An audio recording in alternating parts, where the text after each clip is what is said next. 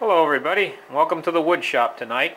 Tonight we're going to talk about a subject of interest, a different kind of glue that most of you woodwork, woodworkers are not familiar with. But uh, uh, luthiers are very familiar with this glue. It's called hide glue. And it's a glue that used to be made from horses' hoofs. Let me open the bottle here. One second, this cover's on kind of tight. There, the bottle open. And we look in at the glue. The glue's in this bottle. It's almost like coarse sand. Let me put the camera on macro. And we get right in and take a real close look at this glue. You see it's granular. Now, what these are is these are glue pots. They have a plug cord that plugs in. And they get hot in here. Now here's a piece of glue that was in the pot still. See, this went hard, crystalline. Now that glue would come back again. If I put a little bit of water in there and heat that pot up, that glue will get soft again. And that's the thing about hide glue. Hide glue, no matter how many years it goes, if you uh, put a little bit of hot steam on it, it'll, it'll ply separate. This is one of the things about musical instruments. Here's a mandolin I was building. and uh, it has hide glue all down in the glue joints in here. And you see this is, is not finished. The back's not on it yet. Here's the other side of the mandolin. The face side. Turn it over again so you can see the hide glue inside here. Down these joints. Now, doesn't matter how many years goes by, if you put hot steam on there, these joints will come apart. So you can repair a musical instrument that way with a hide glue. So hide glue is a very good hard glue. You can see how hard and durable this is. It's harder than the wood.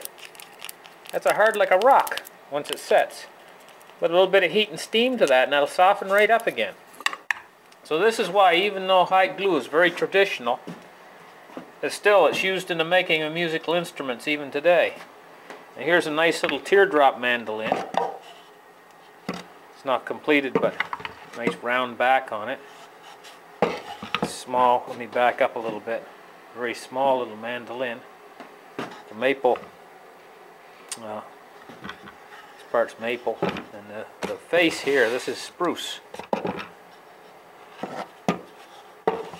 And the back, this back here is uh, very thin hard rock maple. And it's got spruce, spruce around here. Here's a mandolin that's almost completed. Of course, the strings aren't tightened up. Tighten the strings up to make more sound. and it has uh, dry and heat in my shop. It's developed a split on the back that I didn't notice. Anyway, I can repair that later. A split in the wood. But uh, this one uh,